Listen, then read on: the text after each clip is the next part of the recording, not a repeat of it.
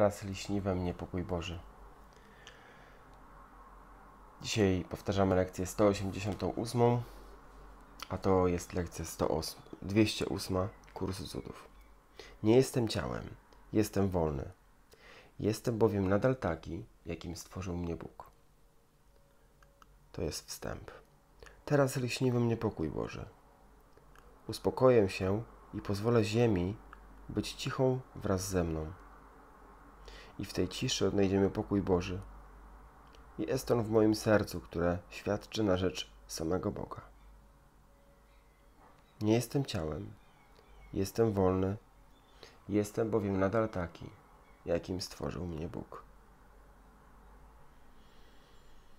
Teraz lśni we mnie pokój Boży. Pamiętaj o tym, żeby powtarzać dzisiejszą lekcję. Nie jestem ciałem, jestem wolny, jestem bowiem nadal taki, jakim stworzył mnie Bóg. Teraz lśni we mnie pokój Boży. Jak najczęściej pozwól, żeby to przez Ciebie przypłynęło. I do zobaczenia już niebawem w kolejnej lekcji.